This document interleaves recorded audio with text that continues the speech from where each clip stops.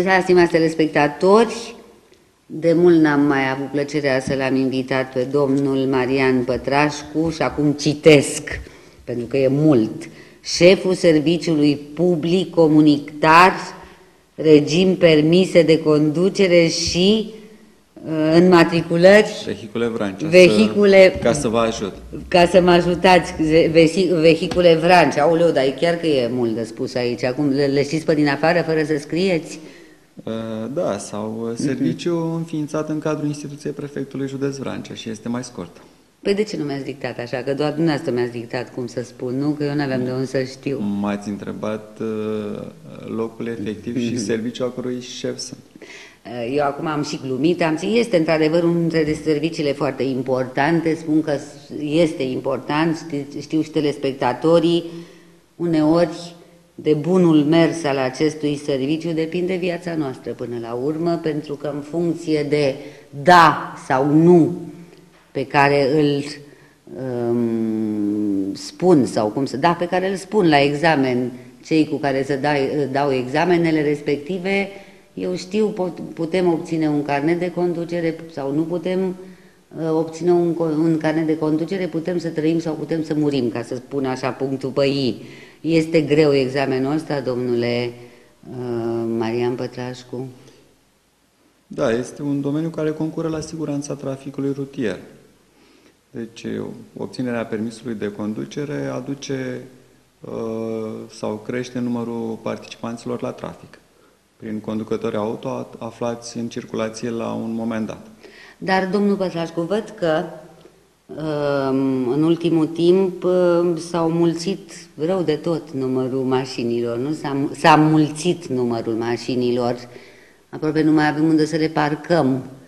Deci oamenii își cumpără mașini, oamenii vin la examene, susțin examenele și majoritatea văd că sunt apți pentru a putea să conducă un autovehicul, nu? Viața își desfășoară cursul și uh, crește cu un, un nou uh, candidat care obține permisul de conducere, crește numărul posesorilor de permise de conducere. Dar spuneți-mi, vă rog, în ultimii ani, noi n-am mai făcut cam de 2 ani de zile o emisiune și în ultimul timp mi se pare că s-au mai schimbat niște lucruri pe la dumneavoastră prin uh, um, documente, da? Sau cum se spune, în legislația deci, dumneavoastră, în legislația. Legislația în domeniu, legislația În incidentă domeniu. uh, domeniului regim permise de conducere și examinări. Uh, Legislația a suferit, uh, să spun așa, modificări majore odată cu 1 ianuarie 2007, când am intrat în Uniunea Europeană. Și pe parcurs, uh, în toată această perioadă, Direcția Regim Permise de Conducere, ca unitate care implementează directivele comunitare, a adoptat uh, aceste modificări ale legislației și le-a transpus în acte normative, aflate în vigoare la această dată. La data prezentă, examinarea pentru obținerea permisului de conducere la proba teoretică și proba practică este uh, reglementată printr-un ordin al Ministrului uh, numărul 268 din 8 decembrie 2010 privind procedura de examinare pentru obținerea permisului de conducere. Vă rog, vreau să spuneți ceva. Nu. Care sunt? Deci, eu când am dat eu examen, am făcut o școală de, de um, șoferi amatori, am dat ieșirea din școală, după care în aceea zi, uh, sau, pa- pardon, nu, am dat ieșirea din școală, după care am dat un examen chiar la poliție cu uh, niște teste pe care le-am luat sau nu le-am luat unii dintre noi, după care în aceea zi am dat examenul de uh, șoferie. De conducere, De conducere, da, da. Acum mi se pare că nu mai este așa.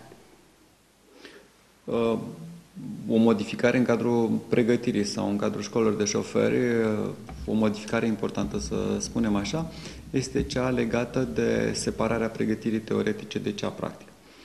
Uh, Se începe școala de șoferi uh, cu depunerea unui dosar, cu documente componente, deci Trebuie să spunem că înainte de începerea cursului unei școli de șoferi, candidatul trebuie să prezinte un cazier judiciar, o fișă medicală și un test psihologic. Aceste documente fiind depuse și o cerere, un contract pe care îl face în cadrul unei școli de șoferi, începe pregătirea teoretică. Dar vreau să vă spun ceva apropo de examinarea medicală. Deci examinarea, examinarea medicală tot așa este o fișă cu care te duci la fiecare cabinet în parte, o fișă care se plătește, după câte știu eu, și pe vremea mea se plătea. Este, uh, este prevăzută de legislația în vigoare. Documentul medical care să ateste faptul că ești apt să poți conduce un vehicul. Uh, acest document medical se obține în cadrul unităților medica, uh, medicale autorizate de pe raza județului, uh, autorizate să examineze ambulatoriu candidații care doresc să obțină permis de conducere. Vi s-a întâmplat vreodată să, um, adică, eu știu, să fie, să constatați că fișa medicală nu era um, chiar așa cușăr, cum se spune, că se mai poate da și pe um, delături. Deci... Ați putut să constatați vreodată lucrul ăsta dumneavoastră în urma examinării uh, unui candidat? De obicei, în urma examenului unui candidat, noi, unui candidat, noi urmărim în principal uh, abilitățile și deprinderile candidatului, că ne referim la proba practică. Și, ca să fiu mai precis, nu am întâlnit candidați care să nu poată conduce un vehicul. Pentru că am înțeles... Ca, uh, Bine, că... sunt alte cauze pentru care, pot, care nu s-au descurcat și aici ar fi uh, lipsa de pregătire sau pregătirea insuficientă, dar uh, ca motiv al fișei medicale nici nu suntem abilitați să constatăm, iar uh, o eventuală reevaluare din punct de vedere medical, medico-legal, uh, din punct de vedere medical, nu poate realiza decât serviciul medico-legal. De fapt, este prevăzut și în legislație că orice aviz medical poate fi contestat la unitatea medico-legală competentă teritorial. Pentru că nu cred că la noi, și poate chiar o spun chiar sigur, nu cred că la noi în județ se întâmplă așa ceva, dar au fost cazuri când s-au eliberat fișe medicale unor pacienți care aveau probleme cu ochii, care aveau probleme cu membrele nu știu care și așa mai departe. Și cu toate astea medicii și-au pus semnătura și au constatat, asta știu eu, un caz în uh, Tulcea, în județ, în care um, în timpul examenului, de fapt, um, ofițerul cu care se dea examen sau examinatorul a constatat că persoana respectivă nu vede bine. Și a ieșit, parcă la Tulcea sau la Giurgiu, nu mai știu. Și a ieșit un scandal foarte mare, pentru că omul a oprit imediat uh, examenul și a spus, domnule, persoana asta cum a ajuns la mine? Că nu vede bine, clar nu i s-a făcut examen oftalmologic și a ieșit scandal. Ați avut asemenea situații? Deci nu, în activitatea mea n-am întâlnit asemenea N-ați întâlnit situații. Asemenea cu situații. examinării, că foarte bine și despre examinare se poate spune că poliția rutieră a întâlnit în trafic conducătorul auto care poate nu știu, știu să, scrie. să scrie, să citească, să conducă. Deci Chiar cum vedeți dumneavoastră situația asta? Cum adică a intrat, a dat examen de, de, de șoferie fără să știe să scrie? Sunt analfabeți care chiar au, am, am auzit și eu, eu n-am văzut ce se aude, că au dat examen de șoferie și unii chiar au luat, fără să știe să scrie, să citească. N-au trebuit să învețe, să se pregătească pentru examenul ăsta de, de cunoștințe, cum se cheamă, nu practice, cunoștințe teoretice. Uh, această posibilitate eu consider că a fost eliminată în proporție de 100% prin uh, susținerea probei teoretice în sistem informatic cu o aplicație pusă la dispoziție de Direcția Regim Permise de Conducere și Matriculări Vehicule. Uh, se, printr-un sistem informatic, candidatul susține proba teoretică îi să accesează un program în sistemul informatic, uh, îi să deschide uh, un test la care va trebui să răspundă. Sistemul de răspuns este touchscreen, adică apasă pe ecran și... Cum ați spus, touchscreen? Touchscreen. Nu, nu touchscreen. nu fac politică și nu mă duceți într-un domeniu în care nu mă pricep. Așa, da, da, vă rog, mai departe, da? Uh, deci asta este, deci examenul pentru obținerea permisului de conducere se compune din două probe, proba teoretică și proba practică. Proba teoretică se susține în sistem informatic pe calculator. Uh, în funcție de categoria pentru care candidatul solicită obținerea permisului de conducere, se deschide un test și candidatul poate răspunde uh, la rând sau uh, poate sări anumite întrebări la care se poate răspunde ulterior. Testul cuprinde întrebări cu 1, 2 sau 3 răspunsuri corecte. Răspunsul la test sau evaluarea apare în mod real pe ecran, candidatul ia cunoștință de rezultatul uh, testului și cunoaște dacă este admis sau respins. Și, bineînțeles, dacă urmează să se prezinte la proba practică. La proba practică nu se pro, uh, prezintă în aceea zi cu proba um, teoretică, nu?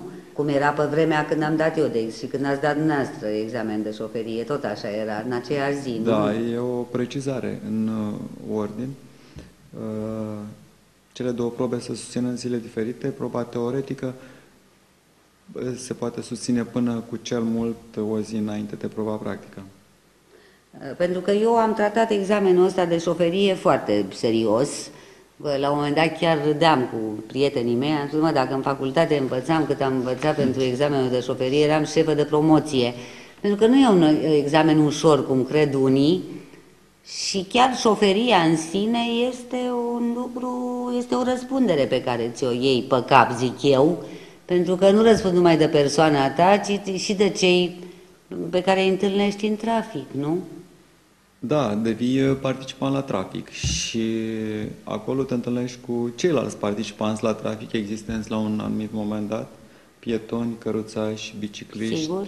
persoane care tractează, care împing sau trag cărucioare, deci uh, toți sunt participanți la trafic și uh, există o interdependență și uh, depindem de ceilalți la un loc unde ne întâlnim, pentru că uh, Bineînțeles, nu putem trece unii peste ceilalți. Trebuie să respectate regulile de circulație, semnalizarea rutieră și fiecare participant la trafic trebuie să treacă în dreptul lui.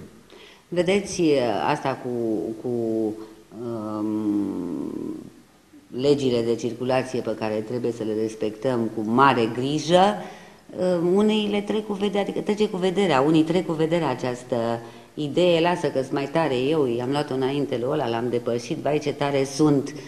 Asta face parte tot într-o lipsă de educație, zic eu, pentru că omul de calitate și omul educat și omul responsabil ă, totdeauna caută o formă și în trafic de, de, de conviețuire civilizată și dacă știi să te porți între... Eu, de fapt, am spus, pe un om îl cunoști după modul cum conduce, nu? După modul cum știe să facă loc unui, unei alte mașini să, treci, să treacă, chiar dacă el are prioritate, dar sunt situații când trebuie să acorzi prioritate și așa mai departe, nu? Această problemă pe care o sesizați dumneavoastră, să zic așa, să o leg de activitate de examinare, pentru că dacă de lucrul acesta m-ați întrebat. Deci, cu ocazia activității de examinare la proba practică, evaluarea probei practice pe care o face, o face serviciu prin lucrătorii desemnați zilnic, urmărește comportamentul candidatului în trafic, modul în care acesta se încadrează în trafic, în care respect, modul în care se respectă regulile de circulație, adaptează viteza la condițiile de drum și meteo. Deci toate aceste elemente Uh, pe care ne le pune la dispoziție candidatul ne obligă la o concluzie obiectivă uh, în ceea ce privește abilitățile și deprinderile pe care le are respectivul candidat. Eu mi-aduc aminte că după ce l-am luat carnetul, am evitat vreo câte, pentru că prima și prima dată când am mers singură cu mașina, știu că tremuram de, am mers până la Crâng, că era acolo un domn care repara mașini. Dar nu v-ați dus cu o mașină stricată? Nu, nu, nu, ba da, mă trebuia pus nu știu ce, acolo nu era stricată, dar trebuia să repare nu știu ce bun. Vă dau cuvântul meu, parcă retrăiesc și acum zi, cu ce frică am mers, cu ce frică m-am întors, că mă rugase o prietenă să o iau și pe ea și am spus, mă, nu pot să-mi permit, eu sunt un om care țin la viața responsabil. celor responsabil, nu, nu pot pentru și că... deocamdată răspund asta. V-ați asumat responsabilitatea numai pentru viața dumneavoastră. Să văd întâi dacă sunt în Implicit stare... fiind în trafic, v-ați asumat și o responsabilitate pentru ceilalți participanți la trafic. Categorii, dar uh, riscul era și mai mare dacă luam pe cineva în mașină în prima zi în care am ieșit singură pe stradă cu mașina, nu? Pentru că nu eram sigură pe mine. Totdeauna, până atunci mersesem cu pe cineva în dreapta care mă ghida, respectiv cu uh, cel, instructorul. cu instructorul, cu domnul Sârja, care m-a învățat bine, să știți, mulțumesc lui Dumnezeu, am 20 de ani de șoferie și n-am avut niciodată nicio problemă.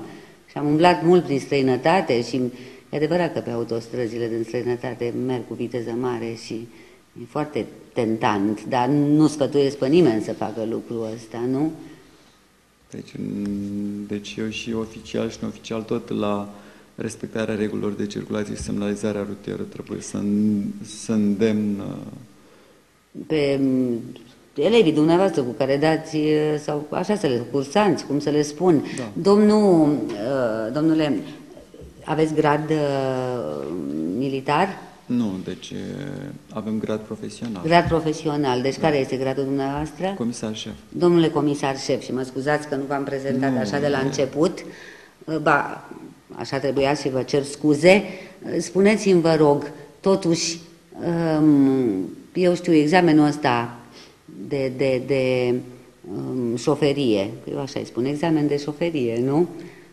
ce implică din partea unui candidat și ce implică din partea examinatorului în ziua respectivă. Contează starea de spirit pe care dumneavoastră o aveți în ziua respectivă sau um, elevul respectiv, cursantul respectiv, pentru că suntem oameni și uneori vi s-a întâmplat să știți pe unul, domnule, la șofează foarte bine, îl cunosc eu că e băiatul vecinului meu și l-am văzut cu profesorul șofează foarte bine, sunt sigur că o să știe și la examen să clacheze.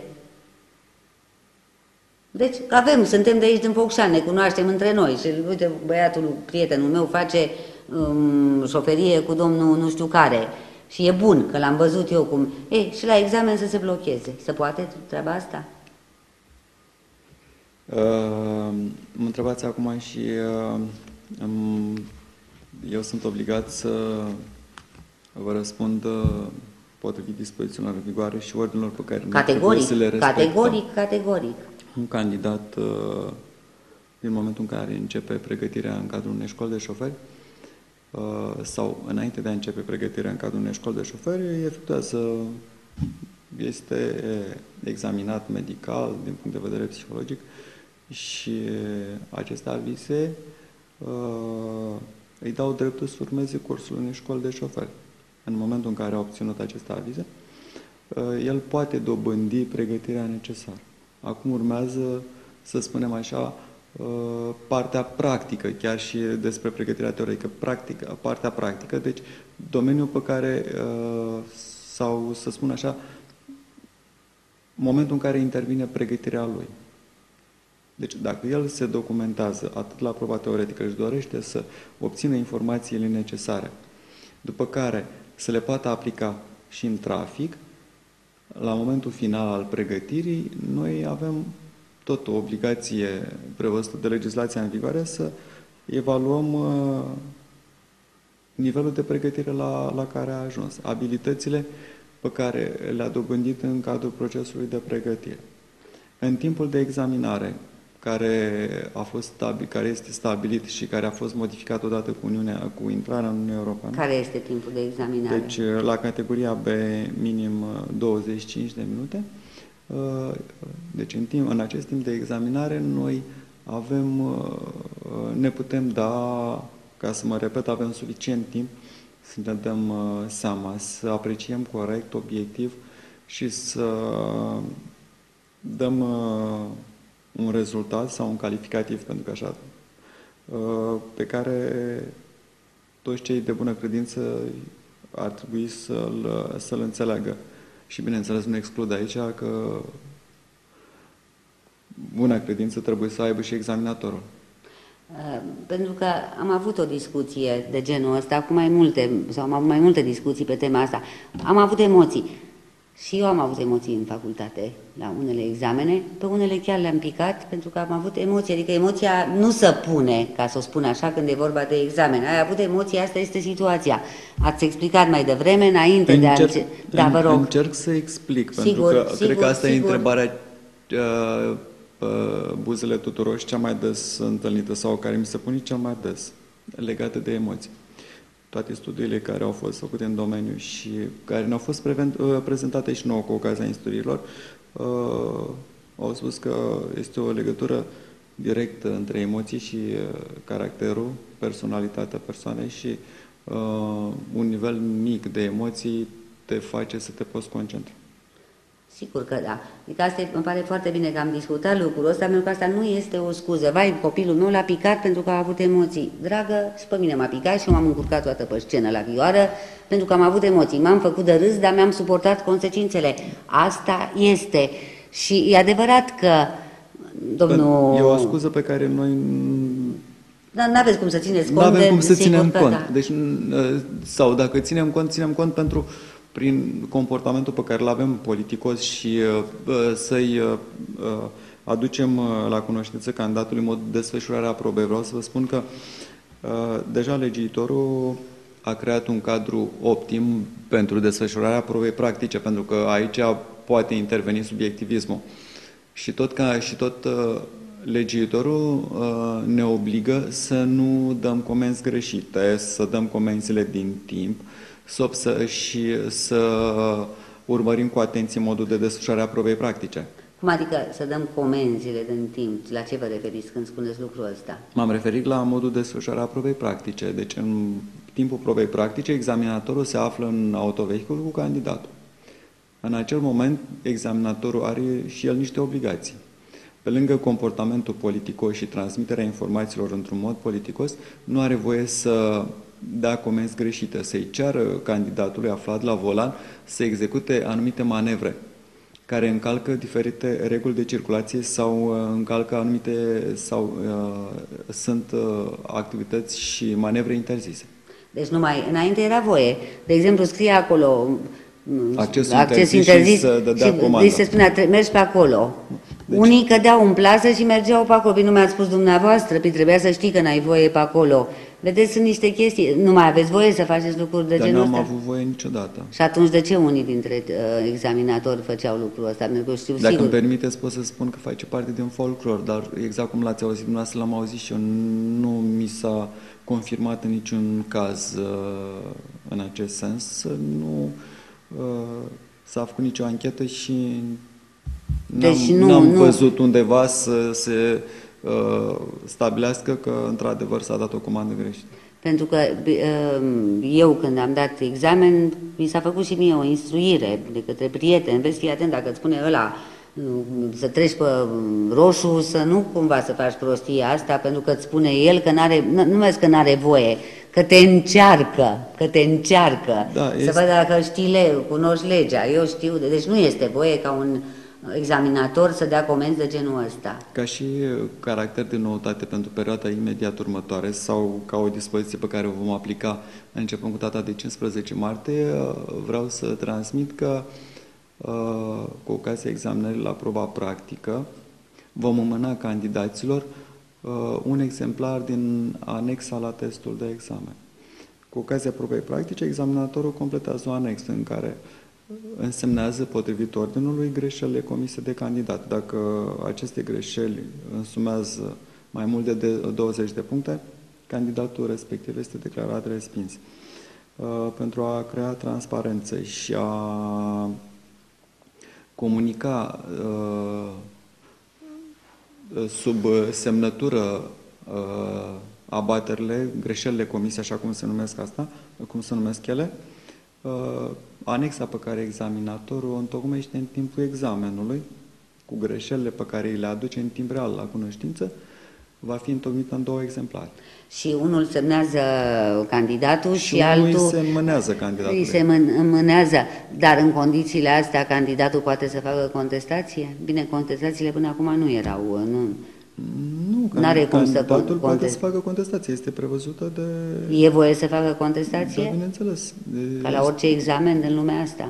ca ca la orice examen, noi întocmim un act administrativ care poate fi contestat. Da? Deci asta este important. Deci după 15 martie, toți cei care se prezintă la, la, la um, Proba exam, practică. la proba practică o să primească un, mai spuneți dumneavoastră, o dată ca să Anexa înțeleagă... la testul de examen, Anexa. completată de examinator în timpul susținerii sau evaluării probei practice, cum spuneam noi. Pentru ca să nu mai fie discuție, dar de ce m-a picat? Păi nu știu, n-a vrut să-mi spună de ce m-a picat. Deci, uh, pe versul la această anexă la testul de examen sunt însemnate greșelile. Domnule uh, comisar șef, dar spuneți-mi, vă rog frumos, uh, de exemplu acum, api- am dat examen, am dat proba mm, teoretică, am luat 26 de puncte, am venit la examen, am picat examenul de probă practică. Mă mai înscriu o dată la uh, proba teoretică, o dau din nou, um, o iau, pic iar la examenul de probă practică. Mă mai înscriu o dată, se întâmplă același lucru și am înțeles că după a treia, uh, cum se cheamă, a treia participare la examenul uh, trebuie reluată școala de șoferi. Așa este? Vă rog să mă credeți că n-am, n-am, au- eu n-am auzit măcar nici din, flo- din folclor uh, acest lucru. Deci este precizat în mod foarte clar perioada de valabilitate a școlii și timpul pe care se poate susține examenul este de un an de zile de la finalizarea școlii. Deci, Deci- deci în, într-un an de zile, candidatul Poate să dea de câte ori examen? De poate câte... să dea examen până este declarat admis. A, deci adică nu... nu cred că un candidat, uh, dacă îndeplinește condițiile uh, date de avizele în vigoare medical și psihologic și își dorește să obțină permis de conducere, eu nu cred că nu poate obține. Deci Pentru asta că el are este... niște condiții pe care el le îndeplinește la intrarea în școală, după aia îndeplinește condițiile de pregătire și are la dispoziție un an de zile în care să vină să solicite planificarea la examen și, bineînțeles, Deci cele nu două- este reală. Eu asta am luat-o, din, mi-a spus-o cineva ca pe ceva foarte sigur, era foarte supărată persoana respectivă, că uite, o să pice poate și a treia a, oară și dacă a picat a treia oară trebuie să reia școala de la început și să mai coste, mă mai costă încă, nu știu câte milioane costă acum. Pot fi cazuri particulare dacă n-a susținut examenul în jumătate din această perioadă și uh, la finele uh, perioadei de valabilitate vrea să susțină mai multe examene. E o stare de fapt uh, prezentată de documentele pe care le prezintă. Deci nu e, asta a picat, nu este adevărat. Un an de zile, stimați telespectatori, după ce a susținut primul examen, După ce finalizează după ce pregătirea finalizează practică. pe- eh, pregătirea practică, deci ieșirea din școală, m, examenul de așa, poți un an de zile fără niciun fel de... Doar că se plătește, e adevărat, de fiecare dată se plătește O taxă de examinare o taxă de examinare, care este aceeași, dar nu care este variază. aceeași la primele trei examene și, uh, se, și uh, crește de la al patrulea examen. de la al patrulea examen. La categoria B este 6 lei la, primele, la fiecare dintre primele trei examene și 84 de lei de la al patrulea examen și rămâne constantă până la ultimul examen. A, deci nu mi se pare chiar așa un capăt de țară, nu știu de ce unii oameni intră în panică foarte tare. Spuneți-mi totuși, se spune că examinatorii de la școlile de șoferi sunt, uh, mă refer la... Nu, uh, examinatorii de la De la serviciu. serviciul uh, pe care îl reprezentați dumneavoastră, uh, sunt destul de severi, este adevărat? Și ce, în ce constă această severitate? Mie nu mi s-a părut când am dat examen că a fost... Um, atunci nu se dădea, se dădea cu, cu polițiștii de la rutieră Poliția pe vremea rutieră. mea, da, da. Considerați că sunteți mai uh, sever decât ar trebui? Cuvântul sever, ca o apreciere venită din partea candidaților la obținerea permisului de conducere, probabil din partea celor care n-au reușit să obțină acest drept. Uh, Depinde ce se înțelege prin cuvântul severitate. În mod normal, noi cerem respectarea regulilor de circulație și urmărim uh, să respectăm o procedură aflată în vigoare la proba practică. Dacă faptul că noi avem obligația să penalizăm greșelile comise de candidat în timpul examenului în timp real și să le aducem la cunoștință, poate fi considerat o severitate, noi spunem că asta este o obligație de serviciu pe care trebuie să ne o respectăm.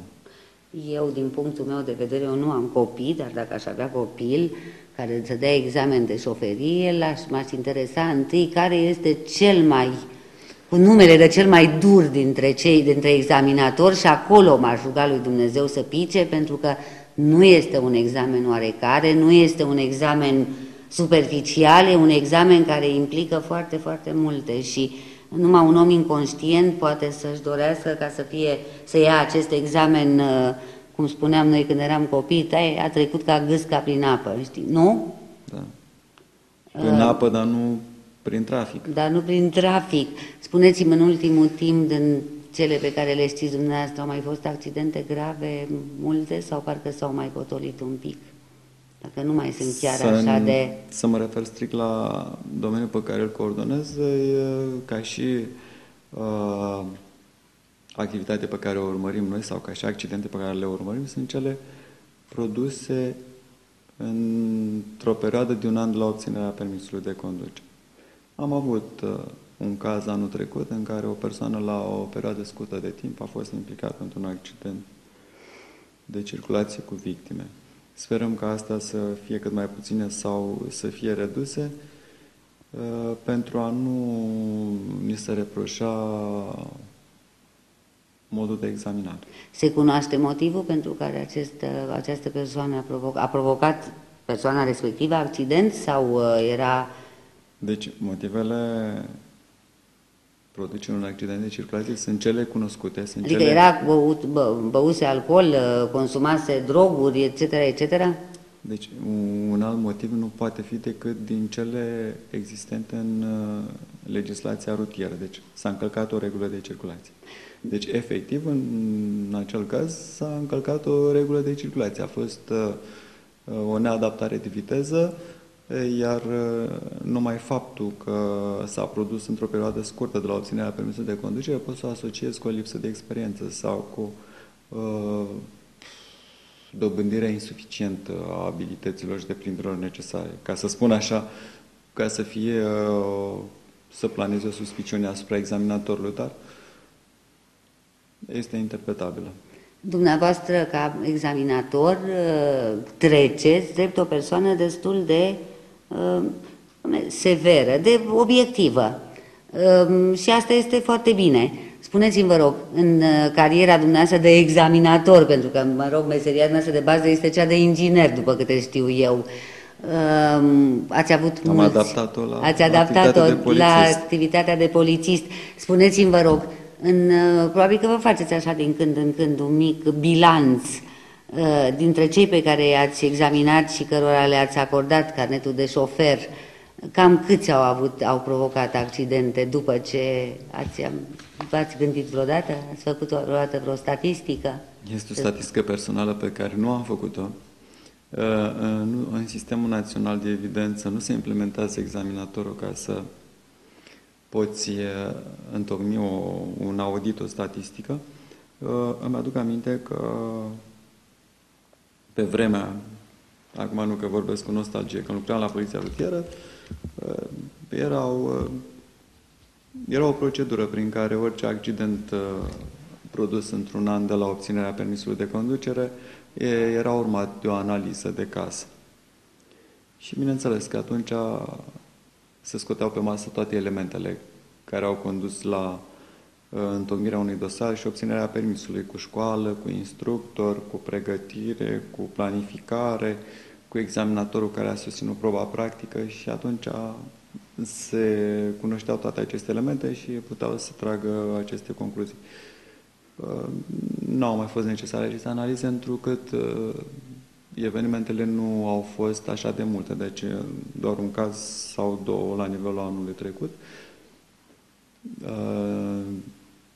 Uh, Sperăm să nu avem, dar dacă vom avea accidente și urmările vor fi de, acea, de așa natură vor impune, uh, realizăm că trebuie să facem și o analiză și chiar uh, a examinatorului. Tot am întârziat cu...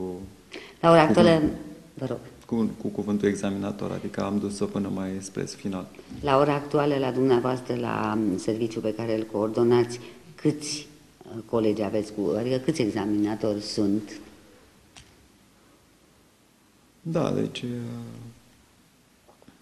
toți uh, polițiștii sunt uh, Sunt mai mulți sau mai, mai aveți nevoie atestați de... ca examinatori. Sunt atestați ca examinatori, cei de la serviciul... De uh, la Serviciul Public Comunitar, regim permise de conducere și matriculări vehicule. Uh, pentru că vreau să vă întreb dacă și dumneavoastră stați rău cu, cu, cu numărul de um, cadre, linie- pe linie de personal. de personal, pentru că pe unde mă duc, toată lumea spune mai avem nevoie de oameni și nu avem voie să angajăm, pentru că la trebuie să plece unul ca să, sau invers, șapte ca să angajeze unul. Și la dumneavoastră funcționează Eu strict. nu, nu pot să fac un secret, am reușit, că asta este cu ajutorul domnului prefect, să mai aducem chiar la începutul anului un lucrător în serviciu, un lucrător pe partea informatică, dar care ne ajută foarte, foarte mult. O... Deci am reușit să mai aducem un lucrător în serviciu. Deci aveți cam tot ce vă trebuie din punct de vedere al uh, personalului. Deci noi ne descurcăm, suntem, deci trebuie să... Cam câți oameni uh, se înscriu lunar la, ex- pentru examenele de, de șoferie, domnule comisar șef? Deci avem, uh, pot aprecia ca o cifră, uh, ca un număr în jurul cifrei de 1000, 1200. Lunar? Uh, Da, lunar. Nu e foarte mult?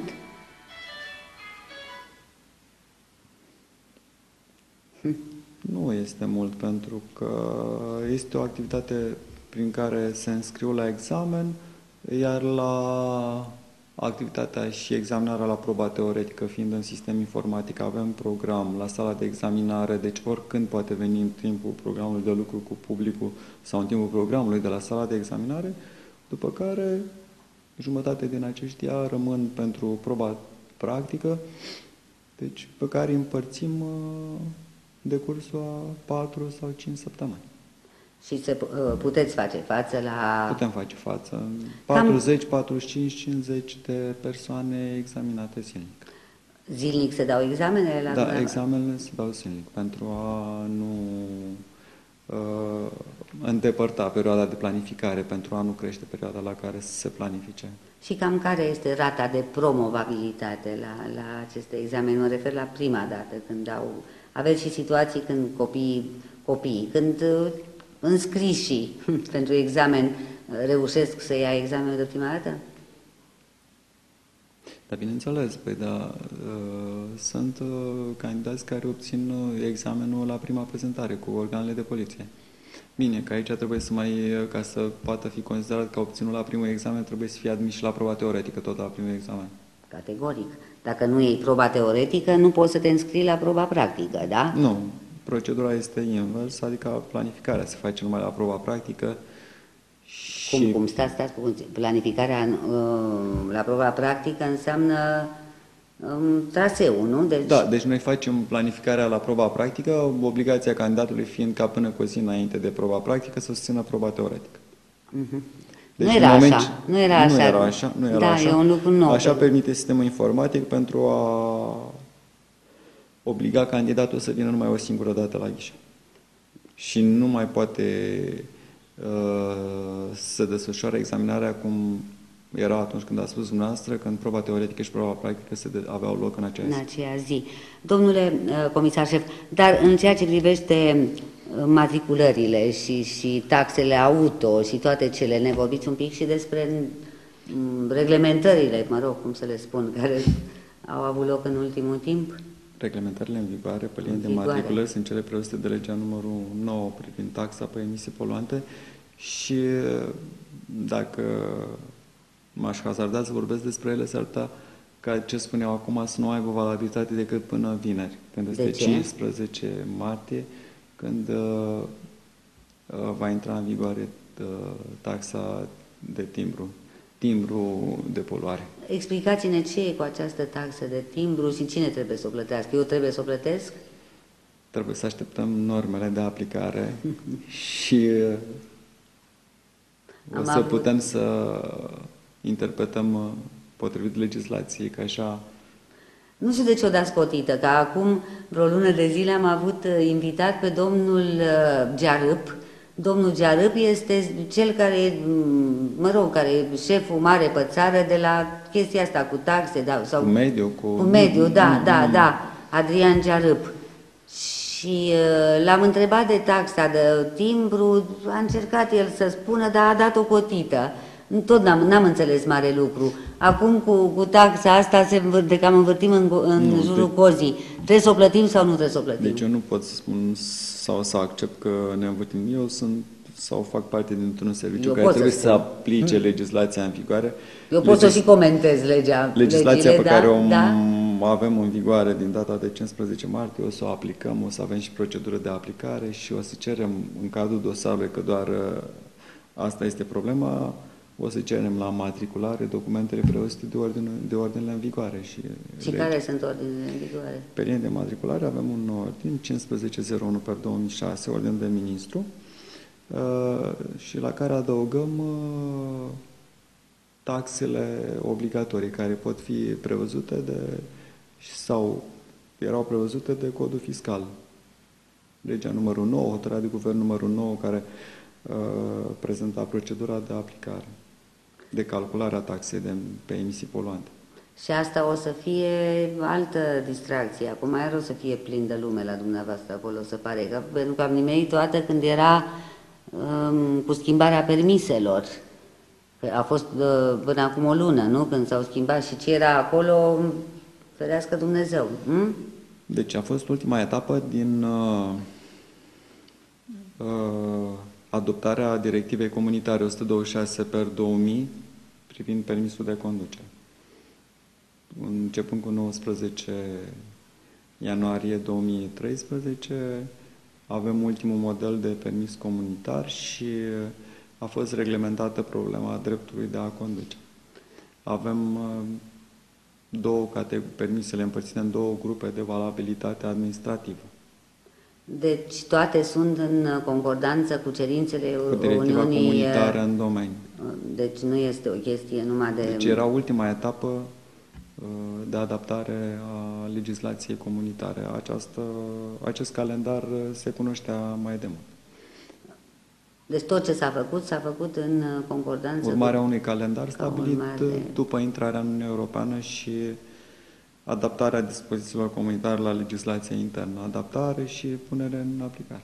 V-ați adaptat greu la noile cerințe ale Uniunii Europene? uh, în particular așa sau cu problemele de serviciu? cu problemele de serviciu.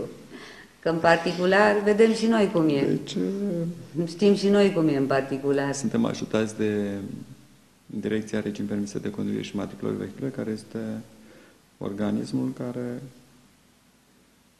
uh, pune la dispoziție metodologii necesare pentru a respecta reglementările care au intrat în vigoare.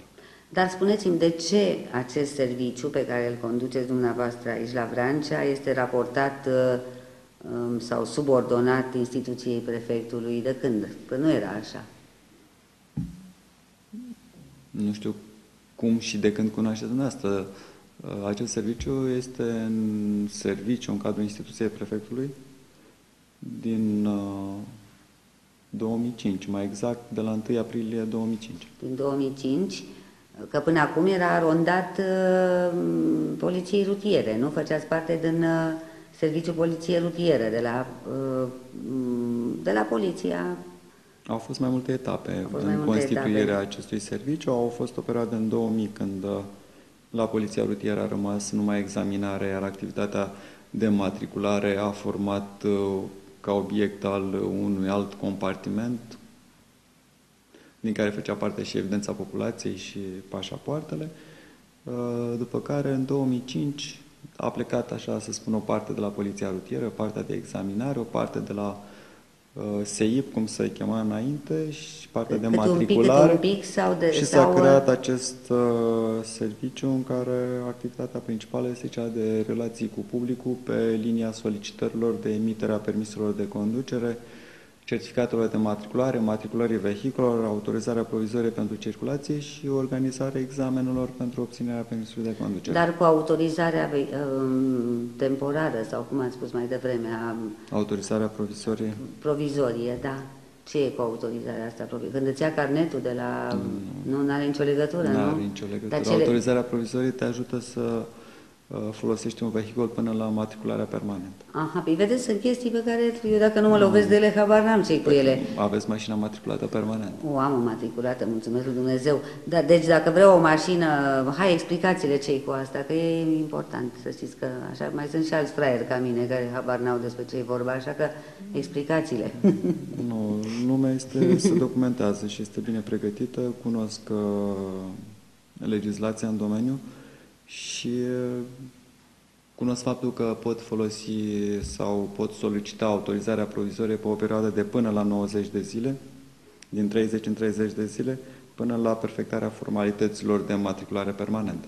Pentru că spuneți dumneavoastră așa că este lumea cunoscătoare și, mă rog, e în cunoștință de cauză, dar ați văzut câte procese au fost că au umblat cu mașini care, pe, pentru care nu aveau nicio hârtie la mână, cum să spune, și a prins poliția și le-a făcut proces și așa mai departe, fără ca mașina să fie furată, dar nu aveau cum să justifice, eu apoi mașina asta și așa mai departe. Deci ai nevoie de o, uh, un permis, sau cum ați spus că se numește o autorizare temporară, ca să poți să folosești o mașină un termen mai lung, nu? Face parte din uh, domeniul de activitate al poliției rutiere și sunt infracțiuni prevăzute în codul rutier sau în ordonanța de urgență Păi- păi, păi 195 da. per 2002. Păi da, uh, și am înțeles că eu dacă am două mașini și amândouă sunt înmatriculate pe numele meu, uh, nici soțul meu nu are voie să meargă cu o mașină de-a mea care este înmatriculată pe numele meu? Nu este prevăzută în legislația actuală. Deci eu nu cunosc, Nu probabil. cunoașteți. Probabil uh, Probabil da. ați auzit de o propunere legislativă sau nu știu ce. Deci, Așa mi-a ajunsese la ureche și neștiind dacă e da sau ba, n-am putut să zic nimic, pentru că nu știu, acolo unde nu știu, tac. Întreb. Probabil că se va urmări uh, rezolvarea problemei cu autovehicule matriculate în altă țară, dar la A, deci e momentul vorba acesta nu cunosc mai mult. Bun, alte noutăți, domnule, pe care vreți să le comunicați telespectatorilor? Dar uh, înainte de a-mi răspunde, vă rog frumos, promiteți-mi că veniți mai des pe aici, pentru că o dată la șapte ani, că se pare că n-am mai făcut emisiune de pe vremea când erați, aveați birou în curte la poliția de pe Simion, sau nu Simion, Cezar Boliac. Cezar Boliac, numărul 12. Da, da. Uh, Știu că nu aveți timp, știu că sunteți foarte ocupat, dar uh, trebuie să vă faceți timp pentru telespectatori din când în când să le spuneți lucrurile astea, nu? Deci noutăți, ceva în afară de cele Din pe cele care... care le-am prezentat și am uh, încercat prin comunicate de presă, prin biroul de presă al instituției prefectului și am încercat să prezint tot ce a avut caracter de noutate, ca și legislații, ca și proceduri aplicabile la un anumit moment dat, în special pe linie de examinare, dar și pe linia matriculării vehiculelor. Cam asta este, stimați telespectatori. Mă bucur mult că ați fost astăzi aici. Repet, insist să veniți mai des, pentru că oamenii sunt interesați să afle niște lucruri legate de șoferie. Am spus-o așa mai și repet, cum ați examenele... început ați spus da, cum ați început-o. Da, așa e la noi în muzică, ABA, se merge pe principiul ăsta. Este un examen, ca să mă întorc la examenele de șoferie, sunt unele dintre examenele cele mai grele pe care eu cel puțin le-am dat în viața mea, l-am avut foarte mult, adică am făcut-o cu foarte mult simț de răspundere și bat în lemn, am carnet de foarte multă vreme, Dumnezeu m-a ferit de rele până acum, sper să o facă și de aici încolo, dar pentru asta trebuie să înveți foarte mult înainte de a te prezenta la un examen și să faci exerciții, nu? Ca la orice... Să aibă încredere că, examen, că trebuie să se pregătească și că examenul va fi un obiectiv. Și cum le spun eu elevilor mei, să știți copii, cei mai buni profesori sunt profesorii răi. Așa spun și cu, între ghilimele răi, așa spun și cu examinatorii de la școlile de șofer, cei mai buni examinatori sunt ăia răi, pentru nu, că... sunt cei corecți. Bine, să înțelege ce am vrut să spun, corecți, dar pentru oamenii care pică spun, aoleu, ce rău a fost, nu. E foarte bine să avem parte de un examinator corect, pentru că asta înseamnă că ține la viața noastră și a semenilor. Domnule comisar șef, vă mulțumesc foarte mult și vă mai așteptăm. Să rămână, să rămână. La revedere, succes! La revedere, stimați telespectatori!